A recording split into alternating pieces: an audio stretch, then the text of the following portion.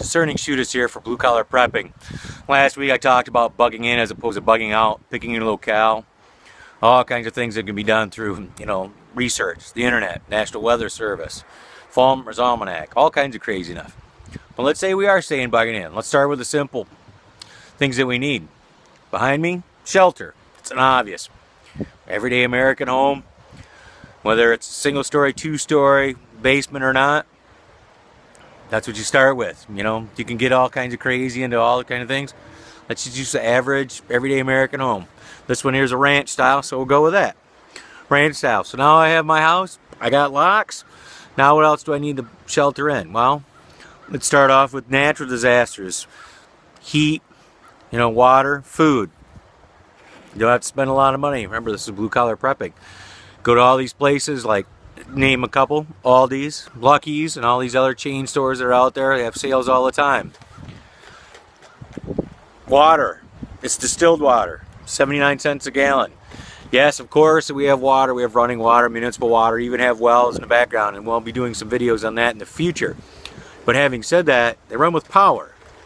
So it doesn't matter what kind of well you have. If you don't have any power, you don't have any water. In the wintertime, you can melt snow, but then you're going to need some heat. We're going to talk about that next week.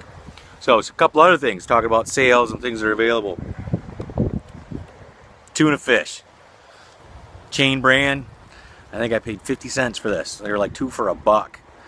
Or maybe it was a dollar. I don't recall. But I bought a couple cases of it. Good source of protein. You know, one per person per day. It's pretty much what you, you can survive on. And it's like, whether you like it or not. Now, if you're allergic to it, that's obviously a different story. Say the same could be said for peanut butter. Peanut butter, especially the terrible GMO, high factory stuff, whatever, where it has less protein and benefits, health benefits, and it's got more bad stuff in it than the good organic stuff. Nonetheless, a dollar jar of it will get you by over a couple of days. Other things, you know, again, keeping with the same idea, it's just cheap and easy. That's like three for a buck. Spartan brand here in the Midwest. This was last year, you know, I bought $10 worth. So all of a sudden I've got, you know, whatever that is, 30 cans of it. So beans in it, you know, it's not great organic food and it's not eating at a five-star restaurant, but it will get you by, you know. It's got nutrients in it, protein, sugars, things like that, everything the body needs. So you can do it cheaply and inexpensively. And in the future article, we're going to do that too. Or we'll do a little shopping trip, talk about some of the health benefits. Just do it a little bit at a time. Culmination right there between the water and those two things. It's like I have food and water for two days, for two bucks, probably not even two bucks. And it's like, and of course, you know, non-natural disasters, but man-made disasters where we talk about flash mobs and rioting, things like that. Last week I discussed, well, picking a spot where you don't have those issues or they're very very very very unlikely now that's not to say that they don't one day one of them will be smart enough to realize hey let's go to a small town in America where we'll make a big news splash when they don't have any law enforcement or very little and they'll be able to get down. Well that's what this is for.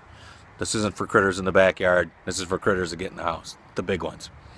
That was in a very inexpensive find for myself.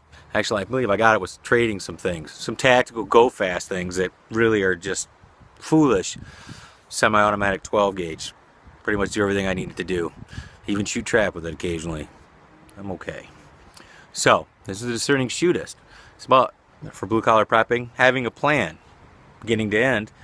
Be good, be safe, and if you can't be safe, be good and dangerous.